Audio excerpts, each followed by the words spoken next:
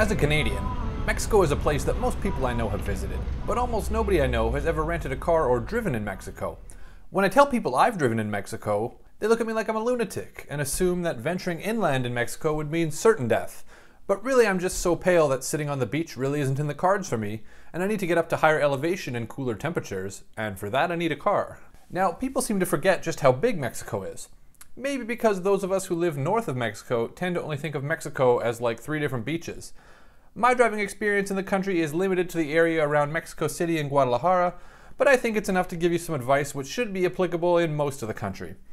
Now, assuming that you're renting a car, your journey will likely start out online.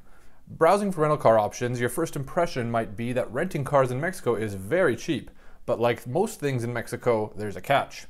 Usually these advertised prices don't include mandatory third-party liability insurance, which increases the initial price considerably. I emphasize the term mandatory as it's highly unlikely that your personal auto insurance includes any sort of coverage in Mexico. And it's even more unlikely that you'd convince the rental car company that you just don't need it. Also, credit card auto insurance doesn't typically cover third party liability, just damage and theft to the vehicle that you're renting. So they're going to be tacking on a charge for third party liability, and it's best that you not fight it too much. Last time I rented a car in Mexico, I got upgraded to an SUV, which is really nice for driving on the highways, but made driving and parking in Guadalajara much more sketchy. The side streets in Guadalajara seem to resemble Europe more than Canada or the USA, so if you're going to be driving in the big cities, consider what size of vehicle you actually need. So finally, while I was renting the car in Puerto Vallarta was fairly simple, renting a car in Mexico City as somebody who only speaks rudimentary Spanish is quite difficult. The guy at the counter was very friendly, but didn't understand any English really. And so it was really a, kind of nerve wracking signing the paperwork, but only understanding the numbers. The autopistas leading into and out of major cities are pretty comparable to highways in the US or Canada. I found that on these highways, locals will often be driving well in excess of posted speed limits. Now, I tend to stick to the speed limit, especially on a divided highway, since I have experience dealing with police who don't speak English, and I can tell you conclusively that it's worse than renting a car from someone who doesn't speak English. Toll booths are common on the highways, and many don't accept credit cards, so be sure to keep some pesos on you. I found that the toll booths could range from the equivalent of a dollar or two all the way up to 10 or 15 dollars. Also, if they issue you a receipt, hold on to it for the day. Sometimes there are booths that verify that you paid your toll, and all you need to do is give them the receipt from the previous booth. This wasn't obvious to me, as I'm sure the signage wasn't in English, and I was just more concerned about getting into the correct lane. If it's just a one lane highway, I'll tend to go a little faster than the speed limit if it means fewer people trying to pass me in the oncoming lane.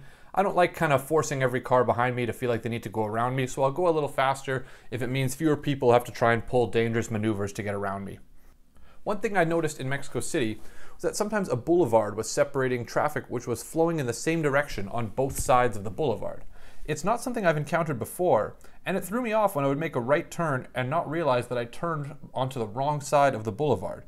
This clip here shows me miscalculating on that front and having to make a less than smooth correction. It wasn't my finest moment. Occasionally in Mexico City, it seemed as though there were four-way intersections which had no stop signs or signal lights in any direction. This intersection here really only has traffic coming from two directions since both streets are one-way traffic. However, as far as I can tell, neither side has a stop sign. I don't know what the protocol is other than proceed with caution, yield to the driver who likely lives there and knows their way around, and don't cheap out on your insurance. This roundabout in Guadalajara with six exits might be as close as you can get to the nightmare of Parisian roundabouts in North America.